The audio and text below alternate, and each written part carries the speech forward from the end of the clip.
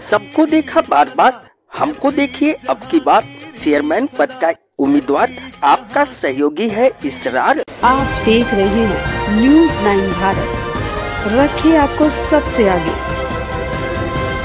नमस्कार, आप देख रहे हैं न्यूज़ नाइन भारत मैं हूँ आपके साथ अंजलि। चलिए रुक करते हैं खबरों की ओर।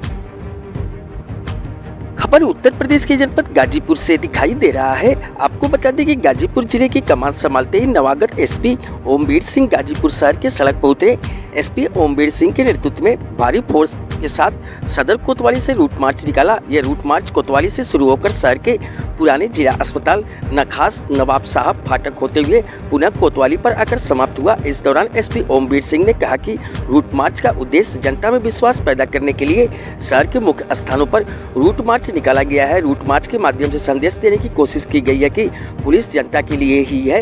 एसपी ने कहा कि रूट मार्च से जहाँ आम जन को विश्वास होता है कि पुलिस उनके लिए ही है, साथ ही इससे आम लोगों से बातचीत करने का भी अवसर मिलता है। न्यूज़ लाइन भारत के लिए, संवाददाता सऊद अंसारी। की रिपोर्ट।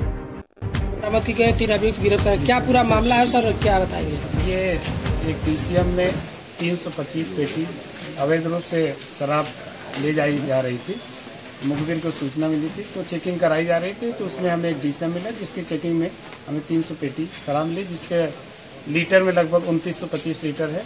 और पूछताछ में फिर इसके तीन अभियुक्त मिले हैं इनको गिरफ़्तार भी किया गया है। इन पे अभियोग पंजीकृत कराया गया है।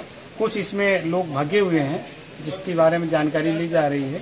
और जैसे ही जानकारी होगी उनकी भी गिरफ्तारी होगी। साथ ही साथ इस पे आगे गैंगस्टर की भी कार्रवाई करके इनके संपर्क जब्ती कराई जाएगी। गिरफ्तारी कहाँ से हुई है सर? ये गिरफ्तारी कोतवाली सिटी से ही हुई है क्योंकि यहीं पकड़ा गया है। सर ये शराब किस प्रांत का हो सकता है?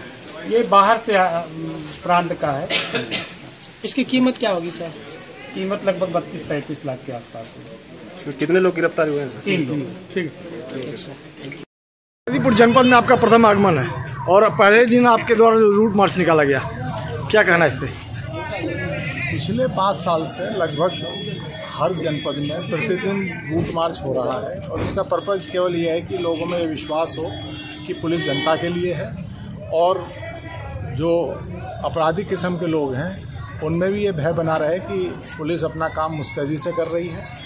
इस बहाने लोगों से सड़क पर चलते हुए बात हो जाती है। कई बार कुछ लोग बड़ी महत्वपूर्ण जानकारी भी दे देते हैं और एक तरह से लोगों में कानून के, राज्य के प्रति विश्वास पैदा करना और उनकी जानकारियों की जा- उनकी परेशानियों की जानकारी करना और विशेष रूप से इसके लिए भी सचेत किया जाता है।